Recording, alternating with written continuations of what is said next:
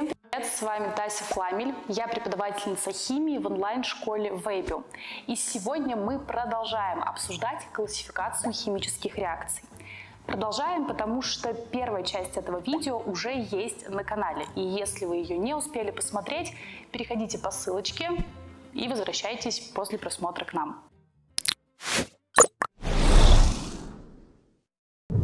Во второй части мы с вами обсудим классификацию органических реакций. И хорошая новость состоит в том, что многие признаки классификации совпадают с неорганическими. Органические реакции тоже можно классифицировать по обратимости на обратимые и необратимые, по тепловому эффекту на экзотермические и эндотермические, по наличию катализатора на каталитические и некаталитические. Но, конечно, есть отличия, Давайте с вами их обсудим. Органические реакции также можно классифицировать по числу и составу реагентов и продуктов. Но эта классификация немного отличается от неорганической, хотя сходство есть. В органике реакциями присоединения называют такие реакции, в которых органической молекуле присоединяется какой-то реагент. И, как правило, реакции присоединения сопровождаются разрывом кратных связей или циклом. У реакции присоединения есть свои специальные названия. Например, реакция гидрирования – это присоединение водорода. Реакция гидратации – это реакция присоединения воды. А реакция гидрогалогенирования – это реакция присоединения галоген-водорода. В реакциях отщепления, или их называют реакциями элиминирования, происходит отрыв какого-то фрагмента от органической молекулы, при этом углеродный скелет сохраняется. У реакции отщепления также есть свои названия. Для того, чтобы их составить, нам нужно к названию реакции присоединения добавить приставку «d». Гидрирование – это присоединение водорода, а дегидрирование – это отщепление водорода. Гидратация – это присоединение воды, а дегидратация – это отщепление воды. Гидрогалогенирование – это присоединение галоген-водорода, а дегидрогалогенирование – это отщепление галоген-водорода. В реакциях замещения атом или группа атомов органической молекулы замещается на атом или группу атомов другого соединения. Фактически это реакция обмена, но в органической химии предпочитают термин замещения. Возможно, это связано с тем, что очень маленький кусочек органической молекулы участвует в этом обмене. Как правило, это всего лишь небольшой атом водорода по сравнению с огромной органической молекулой. Органические реакции также классифицируют по типу разрыва связи в реагирующих частицах. И согласно этому признаку классификации, органические реакции делят на ионные и радикальные. Ионные, в свою очередь, делят на электрофильные и нуклеофильные в зависимости от того реагента, который используется в этой реакции. Кто-то скажет, что эта информация является излишней. Но, во-первых, ионные радикальные механизмы реакции есть в кодификаторе. А во-вторых, вам же как-то нужно изучать органическую химию и понимать, что вы записываете, а не просто зазубривать реакции. Если вы не хотите беспокоиться о том, что вы забудете изучить какие-то важные темы, а самое главное, если вы хотите, чтобы подготовка к ЕГЭ была максимально комфортной, понятной и логичной, то приглашаю вас на курс – Ссылочку на него вы можете найти в описании к этому видео. А если у вас есть вопросы по формату занятий, обязательно пишите в комментариях, я на них отвечу. Давайте разбираться по порядку.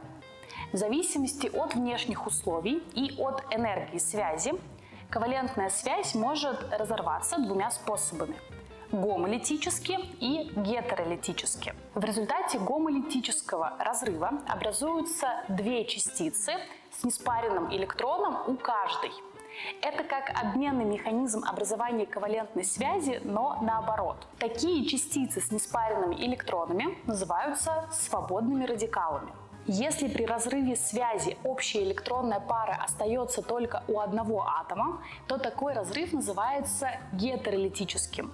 И фактически он является обратным процессу образования ковалентной связи по донорно-акцепторному механизму. В результате гетеролитического разрыва связи образуются заряженные частицы – катион и анион. Если этот заряд сосредоточен на атоме углерода, то уточняют и говорят, что это карбокатион и карбоанион. Ионы и свободно-радикальные частицы, которые образуются при разрыве, не являются конечным продуктом реакции. Это неустойчивые промежуточные частицы, которые вступают в дальнейшие химические превращения. Теперь возвращаемся к классификации реакций. Реакции, в которых происходит гомолитический разрыв связи и образуются промежуточные свободно-радикальные частицы, называются радикальными. Гомолитический разрыв связи характерен для неполярных и слабополярных молекул и требует большого количества энергии. Поэтому реакции с гомолитическим разрывом связи протекают при сильном нагревании либо при облучении. По радикальному механизму протекает, например, галогенирование алканов, нитрование алканов, а также присоединение хлора к бензолу при облучении ультрафиолетом. Реакции, в которых происходит гетеролитический разрыв связи и образуются промежуточные частицы ионного типа, называются ионными. Гетеролитический разрыв связи характерен для полярных молекул и протекает он обычно в полярных растворителях, например, в воде, спирте или хлороформе.